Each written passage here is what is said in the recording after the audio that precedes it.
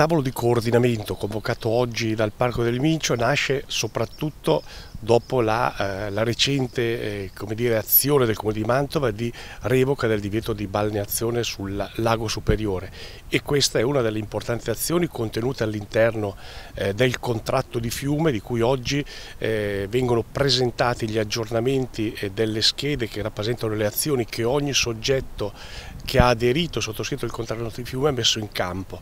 All'inizio erano più di 66 le azioni del lontano 2016 quando è stato sottoscritto il contratto. Oggi in essere ci sono 90 azioni messe in campo con 9 progettualità.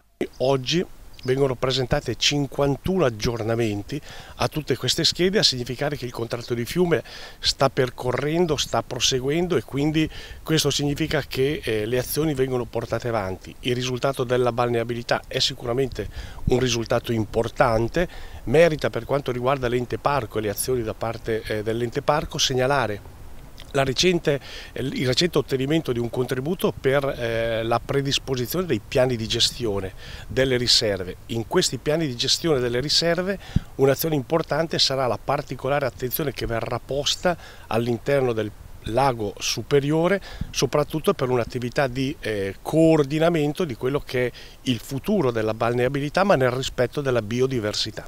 Ma cosa cambierà con la balneabilità del lago?